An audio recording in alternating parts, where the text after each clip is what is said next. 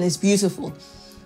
It's easy when you talk about these things, and then they are now understood. There are things I didn't know, but you want me to do, and I really, I, I really want to marry. I, I love you. I want to marry. I want to make you happy. Then the onus is now on me to start to learn to do those things, to begin to cultivate those habits, to begin to try to do those things, or to say, I'm not very comfortable with this. I can try. Please don't hold it against me. Or I'm not very comfortable with this. I'm not sure I can do it. I'll see, let's see how things go. You also have to agree to that sort of thing, agree to compromise, agree to negotiate. That's what it's all about. Amen. Amen. So this closely related to career choices and career, especially for the woman. For the man, not really, because marriage sometimes would affect the man's career, but most times not. The trajectory and the goals of his life usually remain the same. Usually, not always, but usually remain the same. Most of the time, it is the woman's career that is affected because marriage and childbearing and childbearing would affect it. And, and, and pregnancy is what I meant to say. Station and you know you leave you leave a gaping hole, a longing, and there, which would give rise to a temptation for them to begin to seek affirmation or begin to seek for those needs to be met elsewhere. So, this is so important. You need to pay attention to it. Amen. So, the other things to discuss, of course, family, how many kids do you want? Um, where would you like to live? Uh, do you have plans, especially like, for instance, you're in Nigeria, do you have plans of relocating? Is this something, you know, God has spoken to you about, or is this one of your dreams? Is something you would like to do? It's important to discuss these things so that, you know, if you know, I'm happy to do it, fine. If it's, you know, not on your books, you can decide, is it something I don't mind? Is this something I don't mind bringing in? Or are you totally against it? It's important to discuss those sort of things. Amen. Communication, we always come back to communication. Find out what is your communication style. You know, when you are quiet, would you like to be left alone or would you like me to come and ask and probe? You know, because for some people, when they're quiet, they want to be left alone. So it's a cue for leave. I want to be by myself and you just leave them by themselves. And sometimes you show your spouse love by giving him space, him or her space to be on their own. For some people, it's what they want. But for some people, you can give them that space and they would feel left, ignored, uh, unloved, um, you know, isolated. So you need to find out what works for both of you. You know, how would you like me to communicate? You know, if you're someone who always shouts and, you know, you're combative, you know, you're dramatic, you explain, yes, this is how I am. And, and person says, no, no, no, I don't, you know, this won't work. You have to start to learn how to, you know, calm things down. So this is very, very important. Now for conflict resolution and sometimes even communication, you need to test these things. Um, I would say most couples would have disagreements during the time of courtship. So that's a good time to find out how do you make up when you quarrel or when you disagree on something. Do you disagree and agree, or do you disagree, stonewall, and don't don't text me, don't talk to me? You know, let's not make up for one week. Then after another week, maybe somebody has to beg this person and beg that person before you can make up, or somebody has to come and call you put together and talk to two of you before you can make up, or you people can actually act like adults and one person is the bigger person and calls and says, okay, it's time to talk. Or you just gloss over it and just start talking without settling the underlying problem. So it's very, very important. This is the time to begin to learn how to resolve your conflict amicably.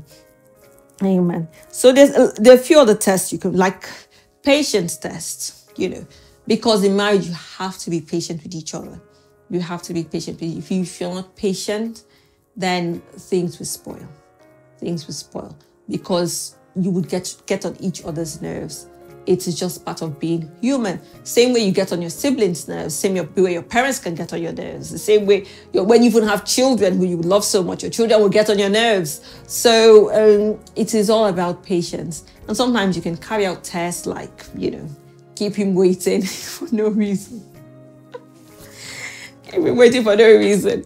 Or, you know, don't call her for a couple of days and see what she does you know but you can you can do those tests you know but i would say with caution don't oh, don't push it too far and make sure that you explain yourself thoroughly when the test time is over so you don't um, do any lasting damage but um, sometimes it's good to do some of these tests and there's some things you would not be able to test honestly because some people are very good at pretending um, and these are the wolves in sheep's clothing some of them can be very, very good at pretending. They will just isolate you and make you feel all is well and make you feel like they are, you know, the prince and princess of, of Igbo land. And you will be shocked that they're not what they claim to be. This is where the spiritual comes in. This is where the spiritual comes in. And, you know, you had the pastor who used to teach a lot on this sort of thing. You know, you tell God, you know, uncover anything that is covered expose anybody who is a traitor who anybody who is who, who is a pretender you know these are prayers you need to pray really very seriously for god to uncover anything that is hidden you know might be one of the most important prayers you pray during your courtship that god will bring to light anything any deceit anything that is being hidden that would cause you to make the wrong decision you might need to pray those prayers very, very heavily for God to open your eyes, especially when you're not sure what is going on or you're undecided or, or you, you see some, some red flags, but you're not too sure.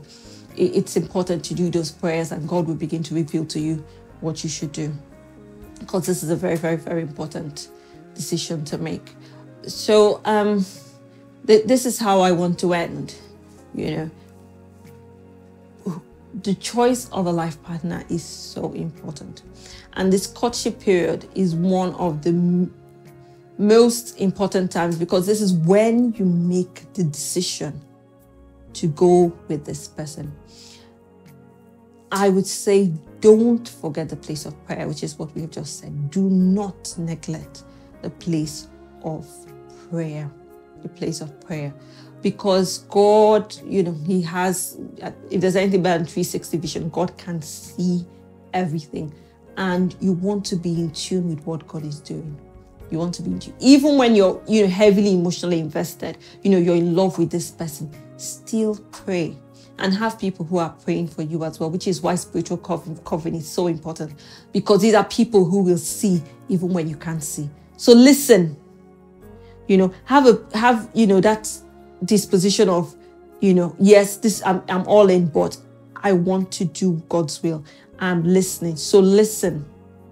If you listen, you would hear. You would hear and you would know.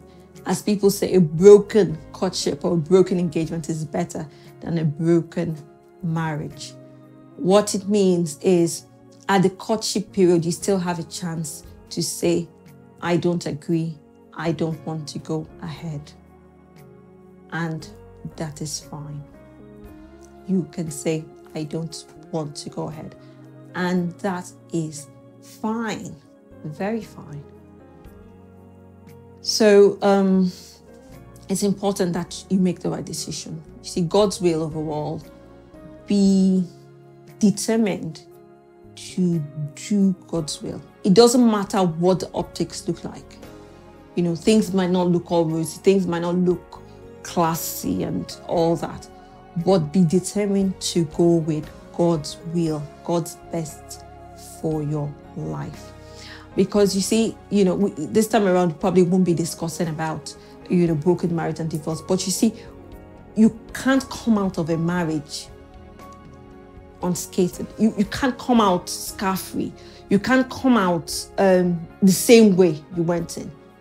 It's a, it's, it is a lot easier to go in than to come out. But when you come out, you would come out with a lot of emotional and spiritual baggage that you would need to sort through.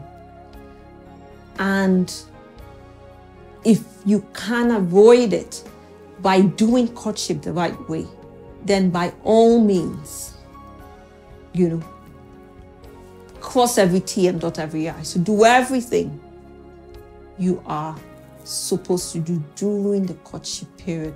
The spiritual aspect we cannot overemphasize make sure you are on top of it. You are praying without ceasing and that you have a spiritual covering. It's so, so important and that you are listening.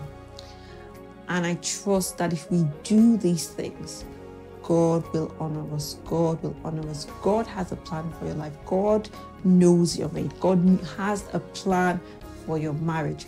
All you need to do is to yield to his plan and everything will be plain. Everything will be fine.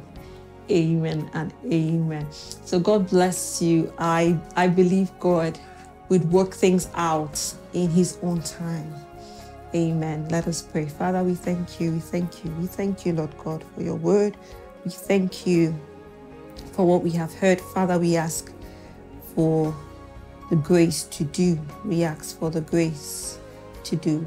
And for even for the married ones, Father, Lord God, we pray for a new beginning. We pray that you would make a way where there seems to be no way. Thank you, Father. Thank you, Lord, for we've asked and prayed in Jesus' name. Amen and amen. Let us pray for our offerings. Father, we receive the offerings. We thank you. Everywhere for it has come out from, we thank you for your provisions, Lord. Father, we pray for your blessings to come upon all of us. In the name of Jesus. Amen and don't forget we have our Tuesday meetings. We're going back to our Rapture series from Tuesday this week. So please join us. Um, all our, meet, our meetings on Zoom on Tuesday, and on Wednesday and Friday we have our prophetic prayers. Um, please join us as well. You can leave your email or you can leave your number, and we would send you the Zoom link. Um, we are having a lovely, lovely time, and would like for you to join us. God bless you. We are going to have a brilliant week. So I um, can't believe we are already in the last week of February but still we have seven more days or almost seven days. And I believe that God is bringing us into a wealthy place. This February, this last week of February, anything that is that you have been expecting from God or through the month or you have been praying and crying for, we call it forth this last week in the name of Jesus. Amen. We are trusting God for his favor to meet us every day we go, we go out we would meet God's favor. Men will favor us. Nations will favor us. Companies will favor us. Businesses will favor us. We have God's favor all over our lives. Our children are blessed. The works of our hands are blessed. Our homes are blessed. Our marriages are blessed in the name of Jesus. God bless you.